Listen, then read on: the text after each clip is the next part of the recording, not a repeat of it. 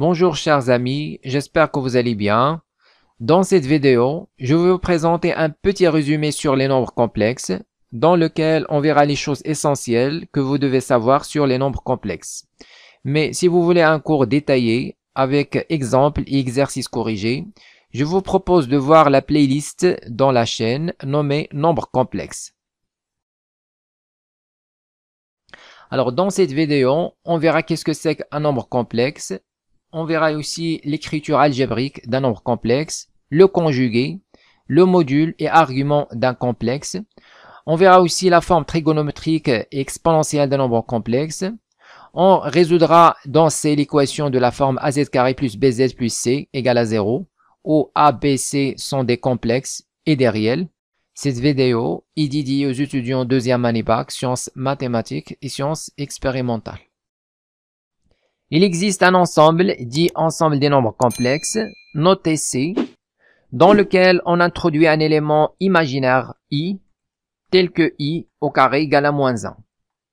Alors à quoi sert cet élément? Il sert à trouver des solutions à l'équation x carré plus 1 égale 0, qui est équivalente à x carré égale à moins 1. Alors on sait que cette équation n'a pas de solution dans R. Et pour trouver des solutions à cette équation, on introduit l'élément i tel que i carré égale à moins 1. Dans ce cas, on aura i au carré euh, plus 1 égale à 0, ce qui veut dire que i est solution de cette équation. يوجد مجموعة تسمى مجموعة الأعداد العقدية ويرمز لها بالسي والتي تحتوي على العنصر E بحيث E مربع يساوي ناقص واحد هذا العنصر تم إيجاده لإيجاد حلول للمعادلة x مربع زائد واحد يساوي الصفر On a déjà vu que l'équation différentielle, vérifiée par la tension UC au bornes du condensateur dans un circuit RLC idéal, est de la forme d carré UC sur dt carré plus 1 sur LC UC égale à 0. Et on vous a déjà dit dans le cours que la solution de cette équation est de la forme UC de t égale à cosinus oméga t plus phi. Et vous ne savez pas d'où vient cette solution. Alors pour les gens qui ont déjà fait les équations différentielles, ils savent que l'équation caractéristique de cette équation différentielle est r carré plus 1 sur LC égale 0. Et cette équation n'a pas de solution dans R. Quantité positive plus une constante strictement positive égale 0, donc on n'a pas de solution dans R.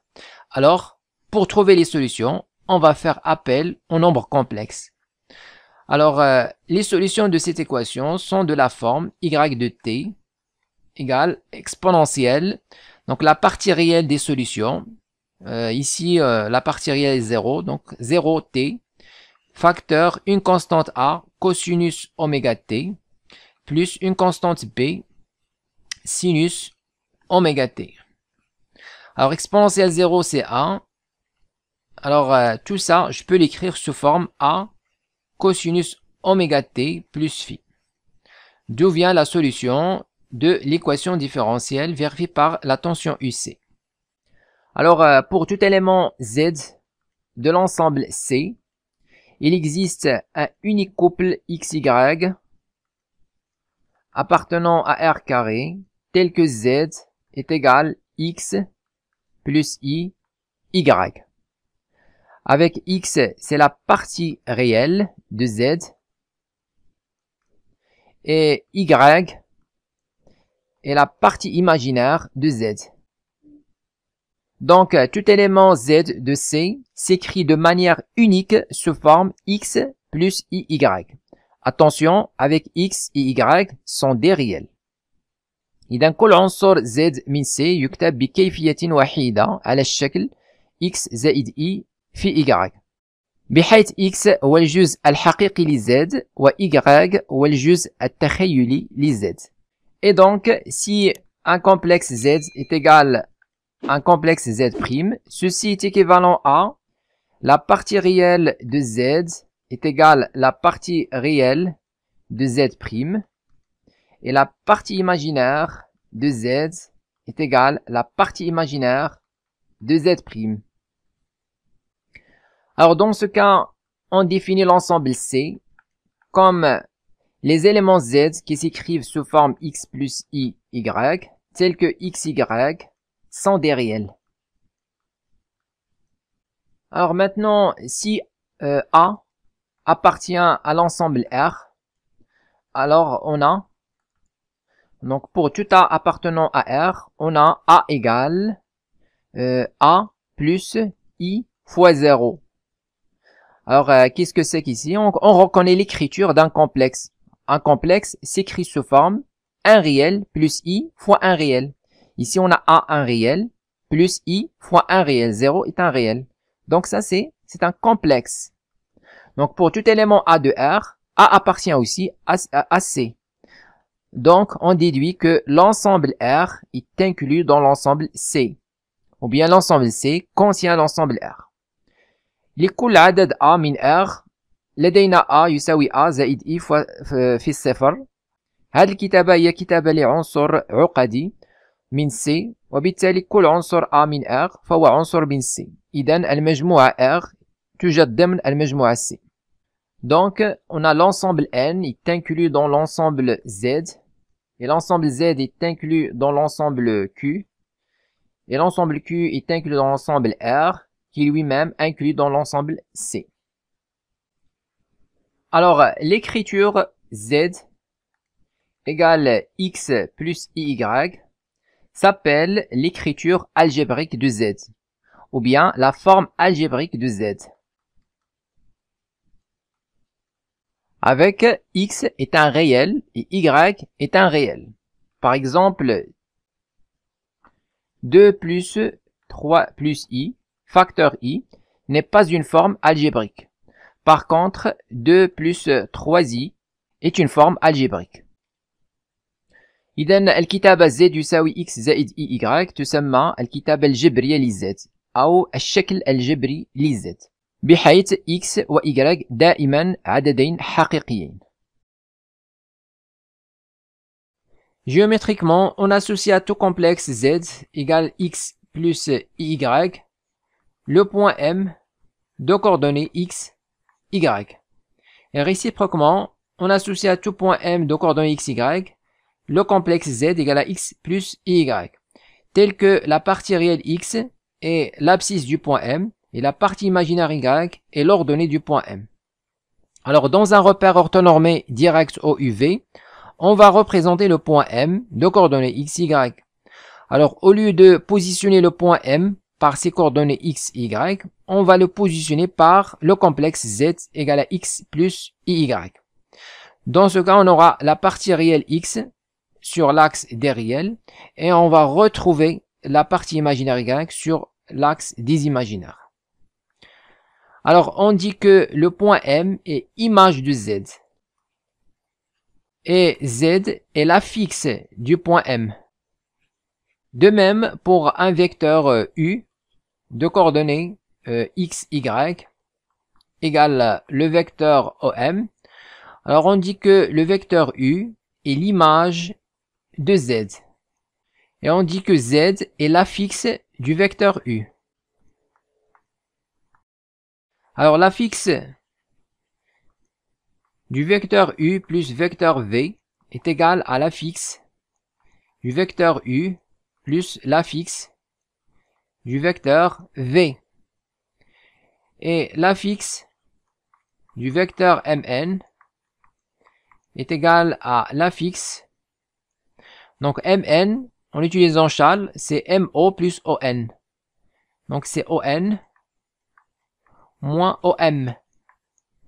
Donc c'est l'affixe du point N moins l'affixe du point M. toujours, on commence par la droite. Alors maintenant, on va représenter le vecteur somme U plus V. Alors U, c'est le vecteur OM. Donc on va le voir ici. Et V, c'est le vecteur OM'. Donc ici, on a prime d'affixe Z'. Alors euh, le vecteur U plus V, donc on va vers la somme, on va retrouver le vecteur en vert. Alors ici, on a le point S d'affixe Z plus Z'. إذا هنا نقول أن النقطة M هي صورة العدد العقدي Z وأن Z هو لاحق النقطة M نفس الشيء بالنسبة للمتجهة U ذات إحداثية XY نقول أن المتجهة U هي صورة العدد العقدي Z وأن Z هو اللاحق المتجهة U Maintenant, on va parler du conjugué d'un nombre complexe, أي مرافق عدد عقدي. Alors, on considère le complexe Z égale X plus IY.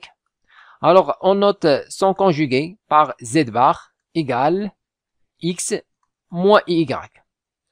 Dans un repère orthonormé direct au UV, on va représenter le point M d'affixe Z égale à X plus Y et on va représenter le point M' d'affixe Z bar égale à X moins Y. Donc ici, comme vous voyez, Z et Z bar ont la même partie réelle X et des parties imaginaires opposées. Alors ici, on a Y, alors que là, on a moins Y. Alors on remarque ici que le point M' est le symétrique du point M par rapport à l'axe des réels. نقول أن النقطة M' هي مماثلة النقطة M بالنسبة لمحور الحقيقي. Alors maintenant, on va calculer Z plus Z bar. On aura X plus X, c'est 2X. Et Y moins Y, 0. Donc ça, c'est égal à 2. X, c'est la partie réelle de Z. On en déduit que la partie réelle de Z est égale à Z plus Z bar sur 2. Donc voilà une formule très intéressante. Ensuite, on va calculer la différence z moins z bar.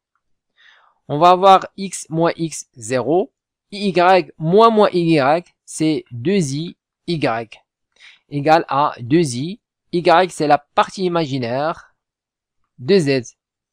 On en déduit que la partie imaginaire de z est égale z moins z bar sur 2i. Voilà une deuxième formule importante. Alors bien sûr, on peut retrouver ces deux relations géométriquement. Il suffit de déterminer le vecteur d'affixe z plus z bar.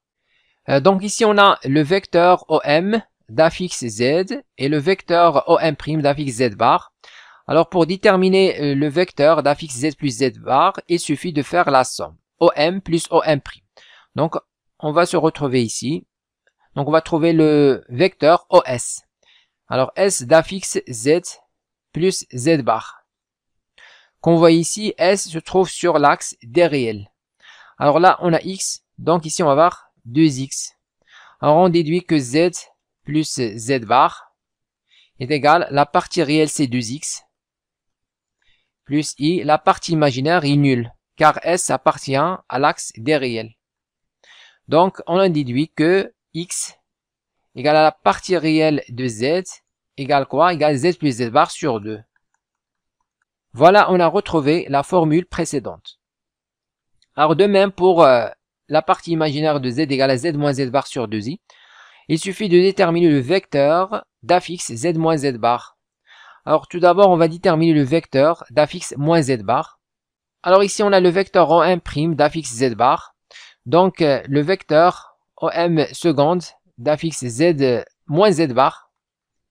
Donc, c'est euh, le vecteur opposé de OM'. Alors, maintenant, on va faire la somme OM plus OM seconde. Donc, on va se retrouver ici. On l'appelle, par exemple, OP. Alors, euh, OP, donc le vecteur OP, c'est d'affixe Z moins Z bar. Alors, ici, on a Y. Donc, là, on va avoir 2Y. Alors on déduit que z moins z bar est égal. La partie réelle est nulle car euh, le point P appartient à l'axe des imaginaires plus i fois la partie imaginaire qui est de y. Alors maintenant, il suffit de faire les calculs. On va retrouver la même formule précédente. Alors à partir de ces deux formules, on déduit que z appartient à R équivalent à sa partie imaginaire est nulle équivalent à euh, z moins z bar égale 0, c'est-à-dire z égale z bar. De même, Z appartient à IR, c'est-à-dire que Z est un imaginaire pur, équivalent à sa partie réelle est nulle. Équivalent à, on aura Z plus Z bar égale 0, ou bien Z égale moins Z bar. Ensuite, on a les propriétés Z plus Z prime, le tout bar est égal à Z bar plus Z prime bar. On a aussi euh, Z fois Z le tout bar est égal le conjugué de Z fois le conjugué de Z. On a aussi euh, Z sur Z le tout bar avec Z non nul bien sûr est égal le, conjugué de Z sur le conjugué de Z. De même, si on a 1 sur Z, c'est euh, le conjugué de 1 sur Z, c'est 1 sur le conjugué de Z. Module et argument d'un complexe.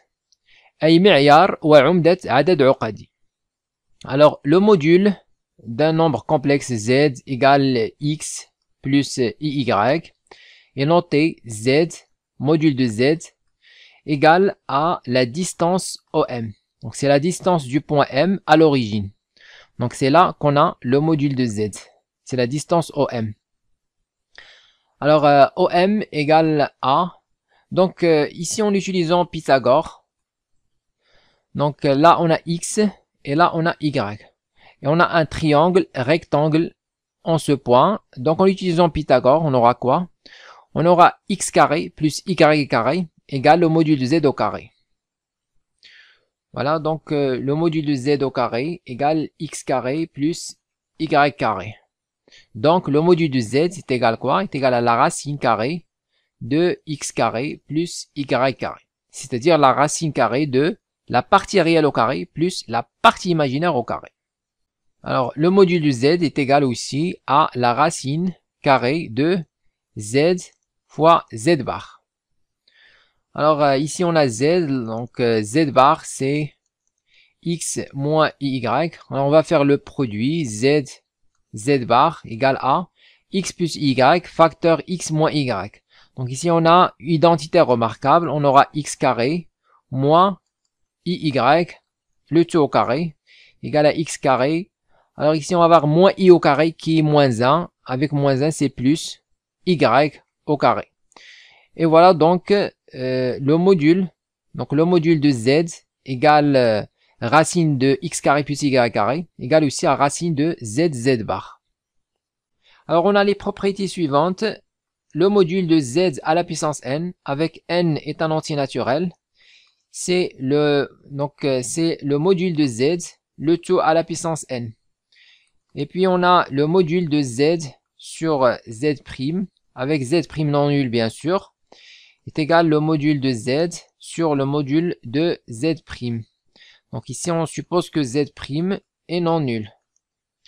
Alors, de même pour euh, la multiplication, z fois z' en module, c'est le module de z fois le module de z'. Euh, finalement, on a l'inégalité triangulaire, donc z plus ou moins z' en module est inférieur ou égal le module de z plus le module de z' supérieur ou égal le module, ou bien la valeur absolue du module de z moins le module de z'. Alors maintenant, on définit l'argument d'un nombre complexe. Alors l'argument du complexe z est toute mesure de l'angle UOM. Donc voilà l'angle UOM orienté dans le sens direct. Donc voici le sens direct car on travaille dans un repère orthonormé direct. Alors, euh, l'argument du complexe Z est toute mesure de l'angle UOM. Donc ici, on représente l'angle θ qui est l'argument. Alors, euh, si on pose euh, la mesure de l'angle UOM congru à θ modulo de pi, alors dans ce cas, l'argument de Z est congru à θ modulo de pi. Donc voilà, donc l'argument de z est une mesure de l'angle UOM. Alors l'argument du complexe z n'est pas unique. c'est-à-dire si on ajoute 2pi, on aura le même angle. Donc ici, euh, on a θ. Alors θ plus 2pi, on va avoir le même angle. Donc l'argument n'est pas unique. Par contre, le module est unique. Alors, 0 euh, est l'unique complexe qui n'a pas d'argument. Donc ça, c'est une remarque. 0 n'a pas d'argument. Alors maintenant, on va voir quelques propriétés de l'argument. Alors on suppose que z et z', deux nombres complexes non nuls. Alors euh, première propriété, argument de z fois z' est congru à argument de z plus argument de z', modulé de pi. Deuxième propriété, argument de z sur z' est congru à argument de z moins argument de z', modulo de pi. Et puis, euh, argument de z à la puissance n est congru à n argument de z, modulo de pi. Finalement, argument de 1 sur z est congru à moins argument de z, modulo de pi. Alors maintenant, on va voir la forme trigonométrique et exponentielle d'un nombre complexe. إذا الآن سنقوم بتعريف الصيغة المثلثية والصيغة الأسية لعدد عقدي. Alors on considère un nombre complexe z dans la forme algébrique et x plus y. Donc bien sûr x, y sont des réels. Alors euh, on pose le module de z égale petit r et puis un argument de z est congru à θ mode 2pi. Donc voici ici euh, le point M. On représente le point M d'affixe Z. Euh, un argument θ. Donc on a déjà vu que l'argument n'est pas unique. En général, on prend la mesure principale de l'angle UOM. Donc ici, on a M, euh, un argument θ et le module. Voilà le module, c'est la distance OM, tout simplement. Alors maintenant, on va déterminer la forme trigonométrique de, du complexe Z.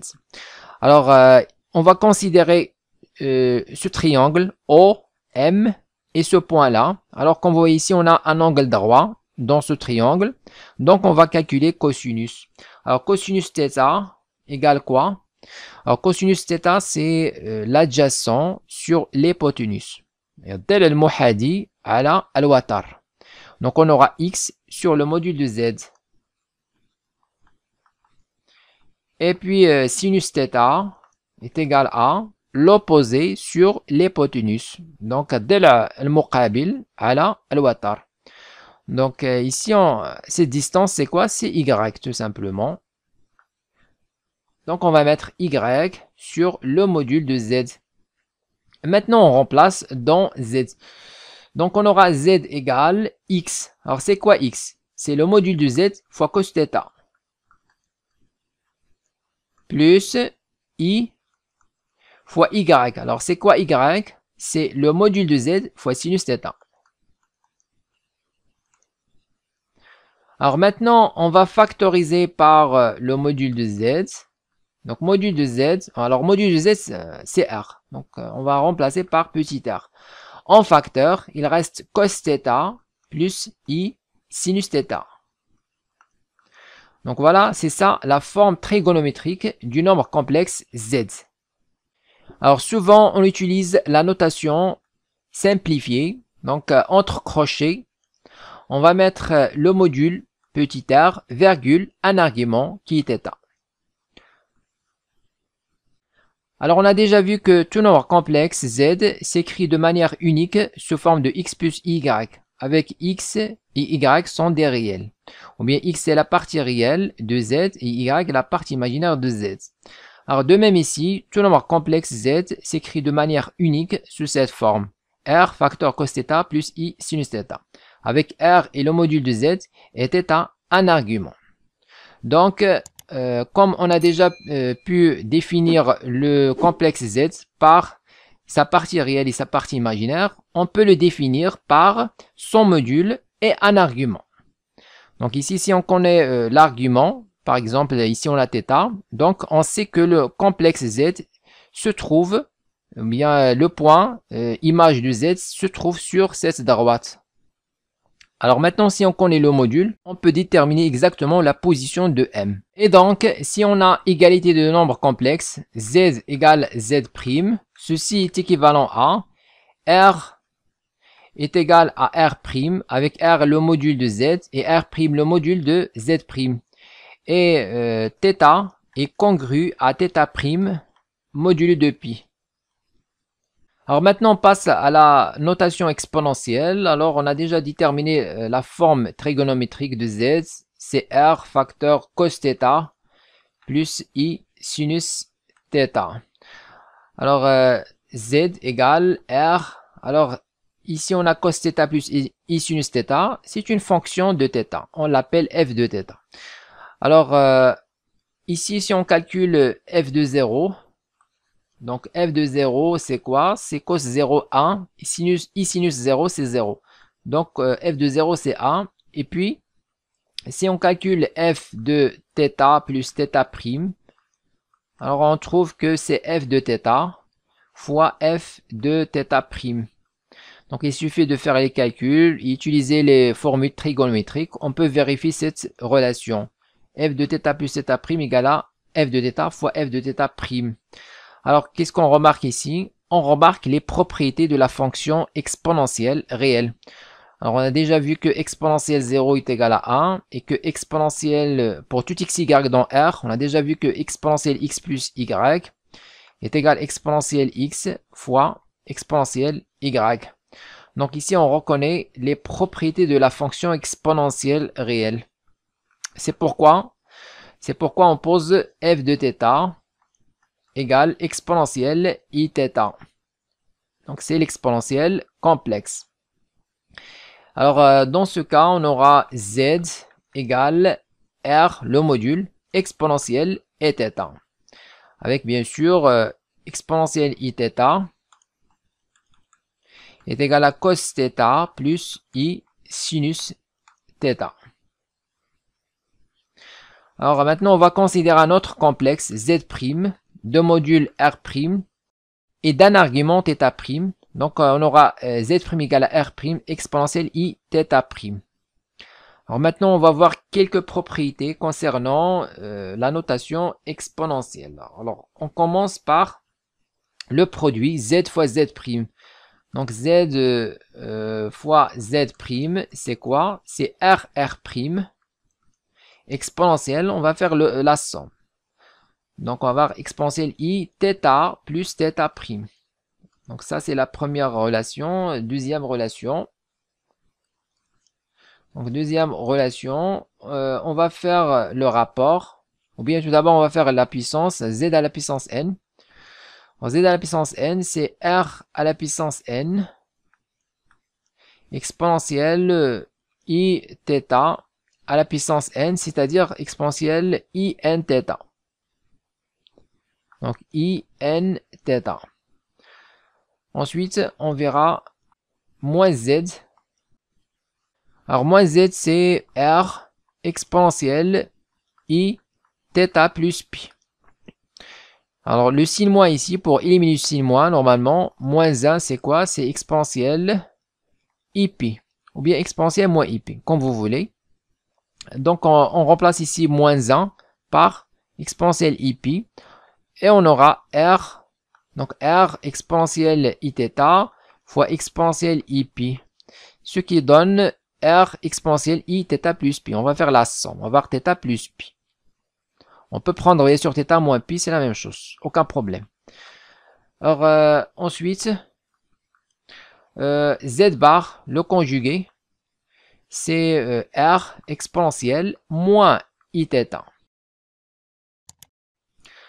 Ensuite, on va faire le quotient z sur z'. On suppose que z' non nul. Alors ça c'est quoi C'est R sur R' exponentielle I facteur θ moins θ'. Donc normalement ici, il suffit de remplacer. Donc z, on le remplace par r exponentielle i θ sur z', on remplace par r' exponentielle i θ prime. Alors on va avoir r sur r', le voilà. Et exponentielle ici au numérateur, il devient exponentielle moins i θ. Donc on fera, on fera la somme, on aura exponentielle i θ moins θ'. Donc euh, de même, on, peut écrire que 1 sur z est égal à 1 sur r exponentielle moins i θ. Alors maintenant, formule de Moivre. Pour tout n appartenant à n, on a exponentielle i θ à la puissance n est égal à exponentielle i n θ. Ce qui est équivalent à, on remplace exponentielle i θ par cos θ plus i sinus θ. Le tout à la puissance n est égal à exponentielle i n θ. Ça veut dire, donc exponentielle i n θ, c'est cosinus n θ plus i sinus n θ. Donc c'est ça la formule de Moivre. Ensuite, on verra les formules d'Euler. Alors, euh, on a exponentielle i θ égale cos θ plus i sinus θ. Alors maintenant, on va utiliser la formule précédente. Euh, on a déjà vu que donc on a déjà vu que la partie réelle de z est égale à z plus z bar sur 2 et que la partie imaginaire de z est égale z moins z bar sur 2i. Donc on va utiliser ces deux formules pour trouver les formules de Euler. Alors euh, ici c'est quoi la partie réelle de du complexe exponentielle C'est quoi la partie réelle? C'est cos θ. Donc on va écrire euh, cos θ égale à donc sur 2 alors, z plus z bar. Alors, exponentielle i θ plus exponentielle i θ bar. Donc, on ajoute sin moins. Voilà, donc c'est la première formule de, du leurre. Deuxième formule, on va écrire sinus θ. Alors, la deuxième formule, c'est l'imaginaire de z. Alors, imaginaire de, de exponentielle i θ, c'est sinus θ. Alors, sinus θ est égal à... On va mettre euh, exponentielle i θ moins exponentielle i θ bar, c'est-à-dire exponentielle moins i θ, et sur 2i. Alors la forme exponentielle est très intéressante lorsqu'on travaille avec des puissances. Alors toujours lorsqu'on a z à la puissance n, il vaut mieux de travailler avec la forme exponentielle z égale à r exponentielle et θ. Alors avec la forme exponentielle, on va faire les calculs très rapidement. Pas comme si on travaille avec la forme algébrique z plus x plus iy. Donc à la puissance n, c'est compliqué. En utilisant la formule binôme de Newton, etc., c'est compliqué. Mais par contre, si on travaille avec la, la notation exponentielle, c'est très rapide. Alors maintenant, je vais vous montrer deux formules concernant la somme et la différence de deux complexes dont le module est égal à 1. Donc euh, lorsqu'on a exponentielle iθ plus exponentielle iθ', donc ça c'est égal à. Alors on factorise par exponentielle iθ plus θ' sur 2. Donc ici il reste, on a exponentielle iθ. Alors ici on a θ, donc on va mettre θ et moins. Donc, euh, euh, donc ici l'angle, c'est θ plus θ' sur 2. On aura 2 θ, donc le tout sur 2, 2 θ moins θ c'est θ, moins θ'. Donc ici on a exponentielle i θ moins θ' sur 2. Alors ici on a plus, donc on va mettre plus. Exponentielle i. Alors même chose ici on a θ' et moins θ plus θ' sur 2. Le tout sur 2, on va avoir 2θ' moins θ', c'est θ' moins θ. C'est-à-dire, on, on va avoir exponentielle euh, moins i θ moins θ' sur 2. Ensuite, on va utiliser la formule d'Euler. Donc ici, on a exponentielle i alpha plus exponentielle moins i alpha. Donc on va avoir 2 cosinus. Donc c'est 2 cosinus cet angle θ moins θ prime sur 2. Et fois exponentielle i θ plus θ prime sur 2. Donc voilà, exponentielle iθ plus exponentielle iθ prime. Alors cette formule est souvent utilisée dans les examens nationaux et dans les concours. Alors de même, si on a la différence exponentielle iθ moins exponentielle i prime, donc toujours on factorise par exponentielle i θ plus θ prime sur 2. Alors il reste exponentielle i θ moins θ prime sur 2. À la place de plus, on va mettre moins exponentielle moins i θ moins θ prime sur 2.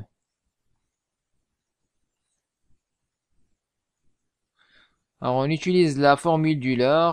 Alors euh, comme vous voyez ici, exponentielle iθ moins exponentielle moins iθ, c'est quoi C'est 2i sinus. On va voir ici 2i sinus cet angle θ moins θ prime sur 2. Et fois exponentielle euh, i θ plus θ prime sur 2. Donc voilà exponentielle iθ moins exponentielle euh, i θ prime.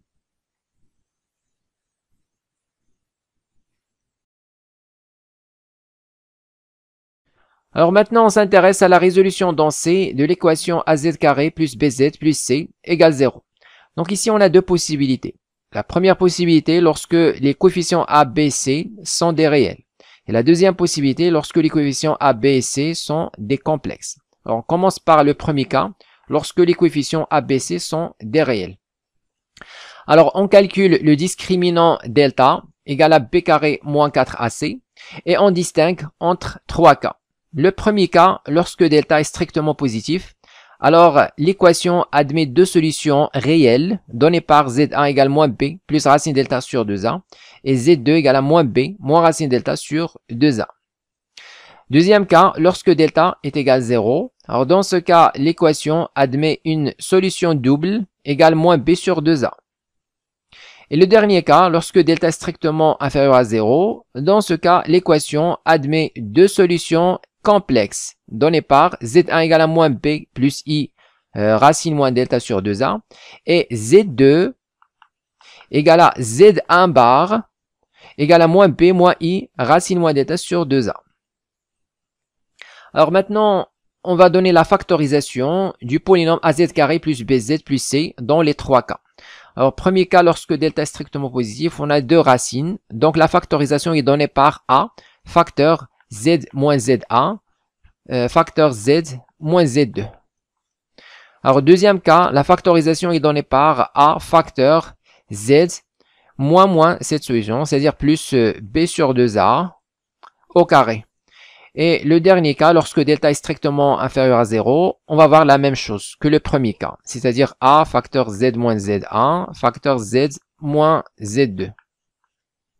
Exemple, résoudre dans cette l'équation z carré moins racine de 3z plus 1 égale 0.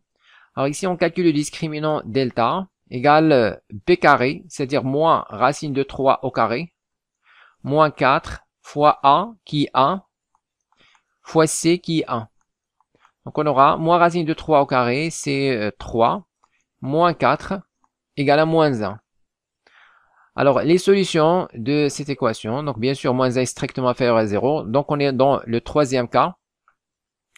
Alors, euh, les solutions, Z1, c'est donc moins B. Alors, B, c'est moins racine de 3. Et donc, moins B, c'est plus racine de 3.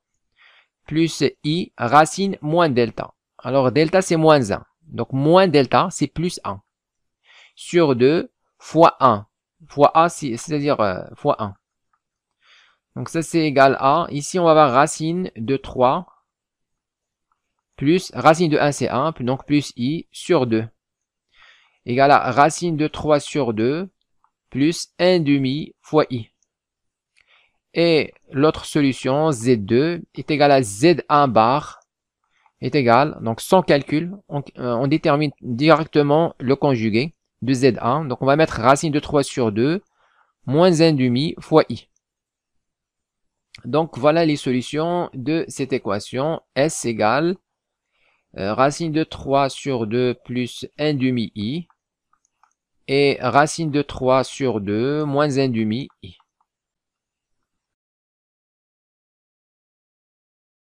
Alors maintenant, on va résoudre l'équation az carré plus bz plus c égale 0 dans le cas où les coefficients ABC sont des complexes. Alors ceci est réservé aux élèves SM. Pour les élèves euh, sciences expérimentales, ce n'est plus au programme. Alors, euh, on a ici l'équation az carré plus bz plus c égale 0. Les coefficients ABC sont des complexes. Alors, on calcule toujours le discriminant delta égale b carré moins 4ac et on distingue entre deux cas. Premier cas, lorsque delta égale 0, donc l'équation admet une solution double, moins b sur 2a. Et lorsque delta est différent de 0, l'équation az carré plus bz plus c égale 0 admet deux racines complexes données par z1 égale moins b plus petit delta sur 2a et z2 égale à moins b moins petit delta sur 2a.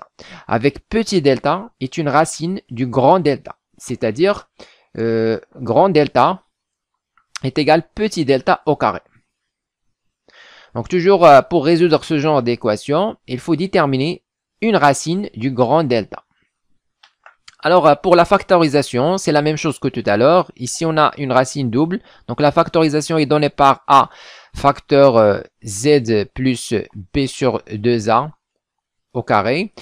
Et dans le deuxième cas, on aura A facteur Z moins ZA, facteur Z moins Z2. C'est la même chose. Exemple, résoudre dans cette l'équation Z carré plus 3IZ plus I moins 3 égale 0. Donc comme vous voyez ici, on a les coefficients complexes. Alors euh, toujours on commence par le calcul du discriminant delta égale à b carré moins 4ac. Alors b c'est 3i, donc on va mettre 3i au carré.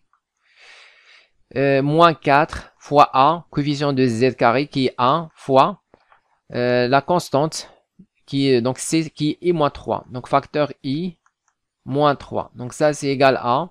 Ici on va avoir 3 au carré c'est 9 et I au carré c'est moins 1. Donc moins 9. Moins 4 fois I c'est moins 4I. Moins 4 fois moins 3 c'est plus 12. Égal à 12 moins 9 c'est 3 moins 4i. Et voilà, il faut déterminer une racine du grand delta. 3 moins, 4i. Alors, euh, pour déterminer une racine euh, de grand delta, on a deux possibilités. La première possibilité, c'est si on le remarque, si on parvient à le remarquer directement, en utilisant un petit peu le brouillon et le remarquer. Sinon, si on parvient pas à le remarquer, on n'a pas le choix. Il faut faire les calculs. Alors ici, on va, euh, on va essayer de voir est-ce qu'on peut écrire 3 moins 4i comme identité remarquable? C'est-à-dire a moins b, le tout au carré. On va essayer de, voir est-ce qu'on peut faire ça? Alors euh, ici on a 3. Alors moins 4i, normalement, on va l'écrire forme moins 2 fois 2i. Alors euh, dans le brouillon, on va chercher, euh, on va chercher AB. Donc ici on a moins 2. Donc l'identité, on a A carré plus B carré. Euh, moins 2 fois AB. Donc voilà, moins 2 fois A. Alors AB, c'est 2i. Donc on va chercher AB égale à 2i. Et A carré plus B carré égale à 3. Alors est-ce qu'on peut remarquer deux, éléments A et B qui vérifient ça? Par exemple, on peut prendre 2 euh, et 1. Alors si on prend 2 et 1, ou bien 2 ii. Alors on va prendre 2 ii.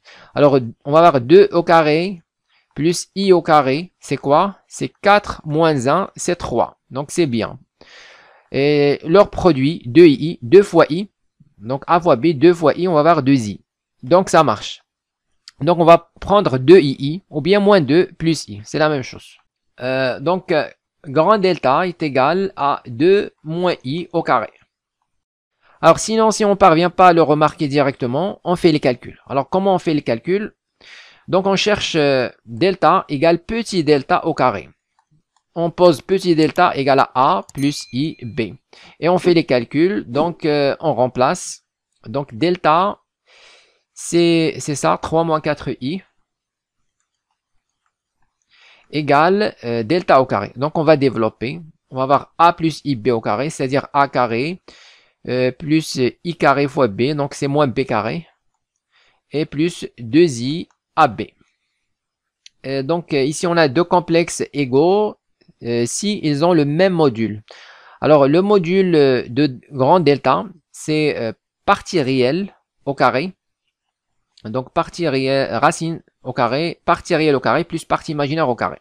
Donc, on va mettre 3 au carré, plus 4 au carré, égale, c'est quoi euh, le module ici? Donc, le module de delta au carré. Donc, on va pas mettre la racine, on va directement mettre a carré, plus b carré. Voilà, donc on va résoudre ce système pour trouver euh, petit delta. Euh, donc ici on a 3 moins 4i. Donc euh, deux complexes sont égaux si seulement si leurs parties réelles sont égales et leurs parties imaginaires sont égales. Donc la partie réelle égale la partie réelle, c'est-à-dire je vais mettre a carré moins b carré égale à 3. et la partie imaginaire égale la partie imaginaire, c'est-à-dire on va mettre ab 2AB égale à moins 4, c'est-à-dire AB égale à moins 2. Et finalement, ici, on va mettre A carré plus B carré égale 3 au carré 9 plus 16, 25. Racine 25, c'est 5. Donc voilà, il suffit de résoudre ce système. Donc ça, c'est équivalent à.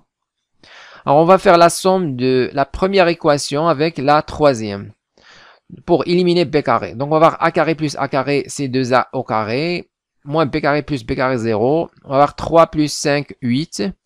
Et on garde, par exemple, la première équation, a carré moins b carré égale à 3. Et pour AB égale à moins 2, on a seulement besoin du signe du, produit AB. Donc on va mettre AB inférieur à 0. Euh, équivalent à, euh, ici on va déterminer A. Alors A, A carré c'est 8 euh, sur 2, 4. Et donc A est égal à plus ou moins racine de 4 qui est 2. Et donc B est égal, euh, on remplace donc B carré d'abord. Donc B carré égale à A carré moins 3. A carré c'est 4 moins 3. Et AB inférieur à 0.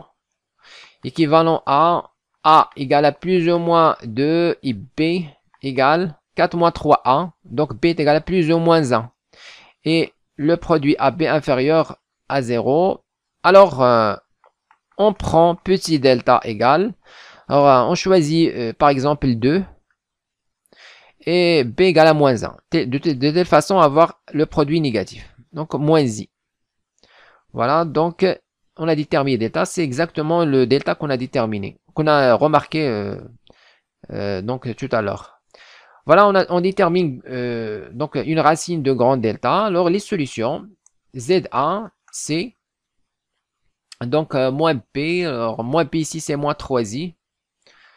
Donc, euh, moins 3i plus, plus racine de delta. Alors, racine delta, c'est ça. Donc, euh, c'est 2 moins i. Donc, plus 2 moins i sur 2 fois a. Alors, coefficient de z carré, c'est a. Donc, c'est tout. Et l'autre solution, ou bien on va simplifier d'abord. Donc, sur 2, on va avoir 2 moins 3i moins i, c'est moins 4, euh, c'est moins 4i, égale a, euh, donc 2 sur 2, a, moins 4 sur 2, c'est moins 2, i. Et z2 égale, alors attention, on n'a pas z2 égale à z1 bar, il faut faire attention. Donc, euh, cette règle est vraie lorsque les coefficients ABC sont des réels. Alors, dans ce cas, on va prendre Z2 égale donc moins 3i moins 2 plus i sur 2. Donc euh, Z1 égale 1 moins 2i, on a déjà déterminé, et Z2 égale, on simplifie ici, alors normalement moins 2 sur 2 c'est moins 1, et moins 3i plus i c'est moins 2i, sur 2 c'est moins i. Donc les solutions sont 1 moins 2i, virgule, euh, moins 1, moins i.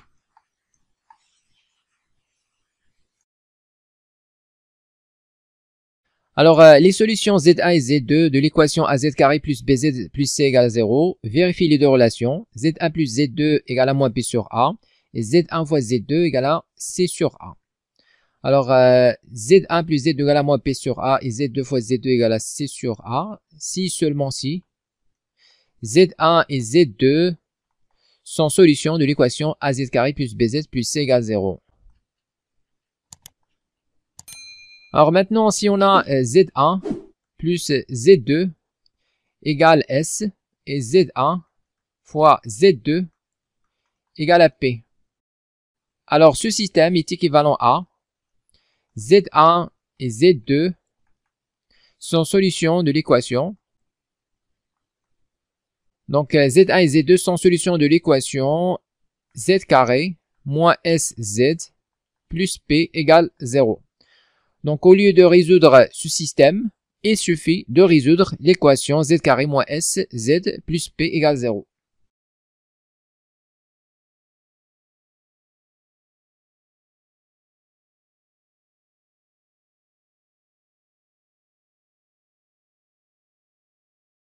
Écrivez-moi vos remarques dans les commentaires et n'oubliez pas de cliquer sur j'aime si vous appréciez notre contenu et de s'abonner à notre chaîne YouTube. C'est absolument gratuit pour recevoir de nouvelles vidéos.